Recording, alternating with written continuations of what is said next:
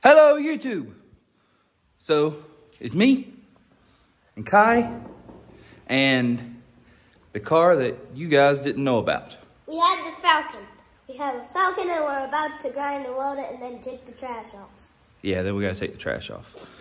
so, as you can see, this is our 1961 Ford Falcon. It's already got cage in it. It has a back half, which I'm not incredibly happy with. I don't exactly like the way it's set up. I mean, it works and it's completely functional and it'll do fine, but it's just not really how I'd like to have it. So the dash is in good shape, has steering wheel and pedals, and it's got a man pedal over there. Pretty awesome. So as you can see, someone's kind of built a, uh, a frame in this car. And what Kai's talking about is like up here, all this has already been like boxed in. So we're gonna clean this up and finish weld it. And we have almost every part to make this car whole. We've got, we've got the, the doors hiding over there.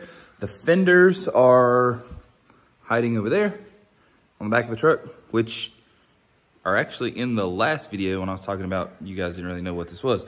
Um, we have all the glass, which is awesome as long as I don't screw it up. Um, this car is actually incredibly straight for what it is.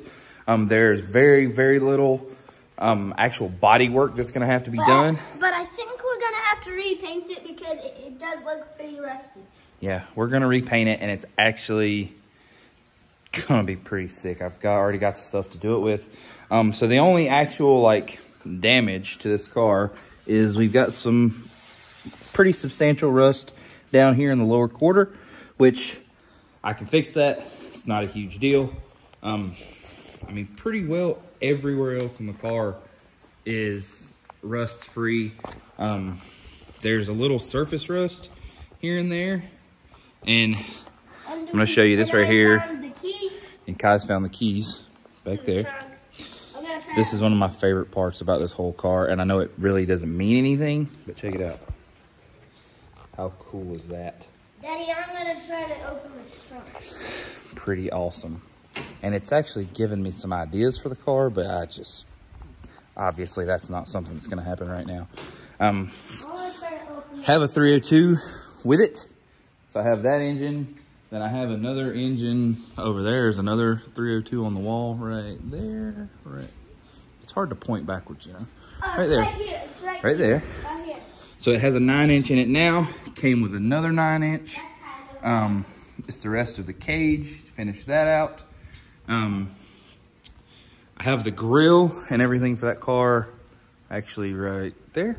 I'm gonna have to add. And then I have the headlights and the tail lights and just, I have so much stuff for this car. We're gonna have to. Uh, but, We're gonna have to fix the rear end and also put seats in it. and we've got to put seats in it. So we're going to get started. Be back with you shortly. What'd you say, Kai?